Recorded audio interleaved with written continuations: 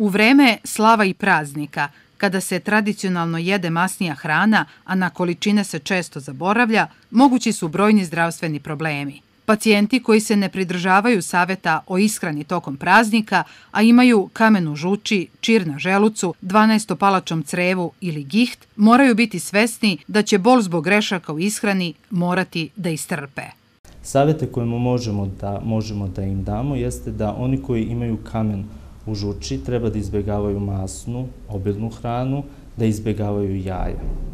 Pacijenti koji boluju od čira na želucu ili 12-palačnom crevu bi svakako trebalo da izbegavaju gazirana pića, sva alkoholna pića, da izbjegavaju suhomesnate proizvode, različite zapraške, da izbjegavaju kafu.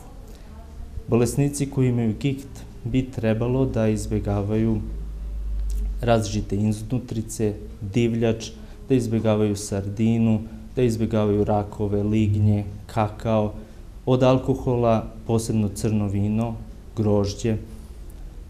Kada govorimo o pacijentima sa diabetesom, pacijenti sa diabetesom bi tokom praznika trebalo da povedu posebno računa o količini ugljenih hidrata koje unose u organizam. Posebno o količini fruktoze i saharoze, šećera kojih ima veoma mnogo u slatkišima, a vrlo brzo se vare i veoma brzo podignu nivo glukoze u krvi. Lekari savetuju hroničnim bolesnicima da i tokom praznika redovno uzimaju svoju terapiju.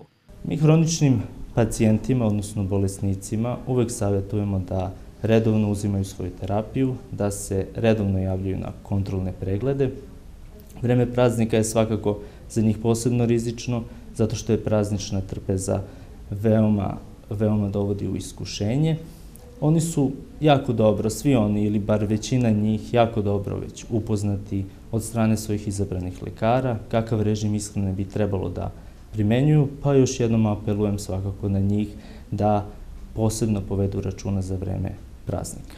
Stres i nezadovoljstvo mogu doprineti da više jedemo, zato se potrudite da za vreme praznika nađete aktivnost koja vas opušta i budete sa onima koje volite.